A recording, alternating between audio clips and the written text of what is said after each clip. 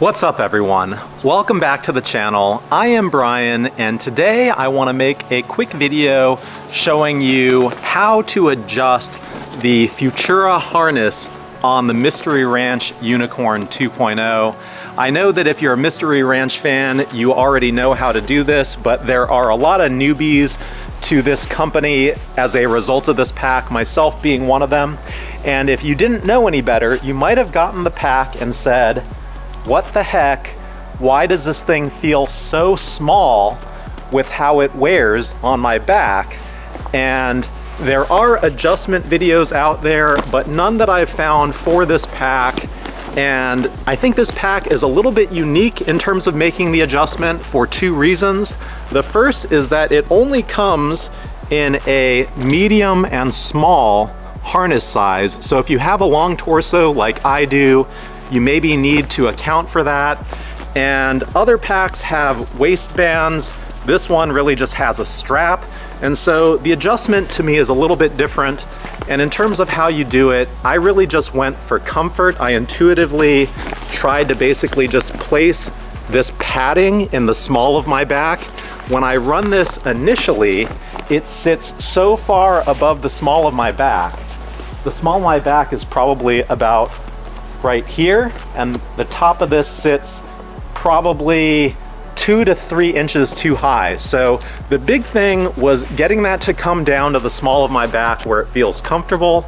And there is a lot of adjustment to this harness. So you'll see here, I went and added yellow tape to the initial position of this harness. It ships in kind of the smallest setting, which makes sense because that makes it easy for shipping purposes. But let's get this adjusted to what I like. And in terms of how I did it, I did not load the pack up. It really made it a lot easier to adjust. What you do, you basically pull on this label tab and it undoes some Velcro. You wanna loosen the shoulder straps as much as you can to get a lot of freedom to operate in here. And then you're gonna pull out the yoke adjuster, which is a structural element of the bag. It's sitting behind this flap. You pull it out, and then you actually use it to break the Velcro that locks the harness in place. So you go ahead and you push it down until the harness has freedom to move sort of up and down.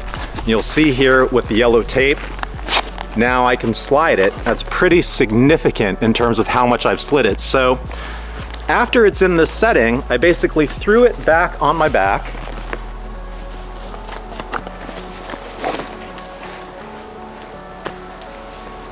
And I basically played with the adjustment until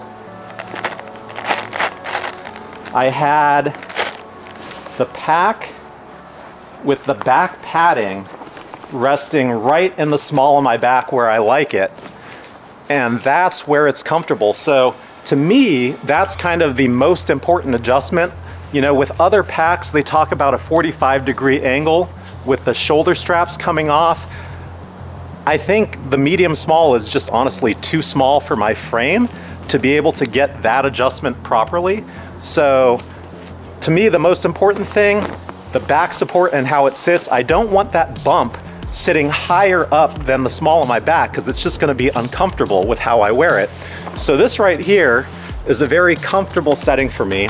And if you look at that, wow, I've adjusted that seemingly three to four inches up from its default setting.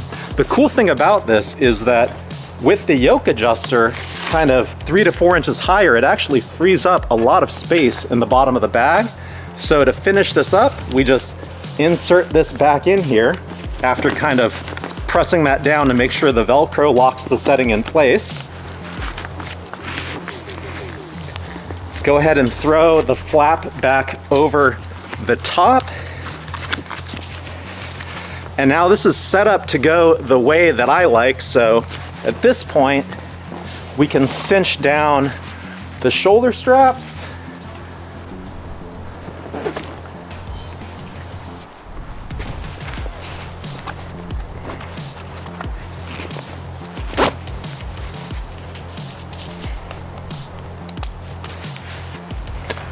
And there we go.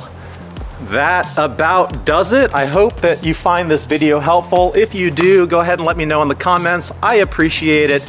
I appreciate you. Thank you for watching, and I will see you at the next one soon.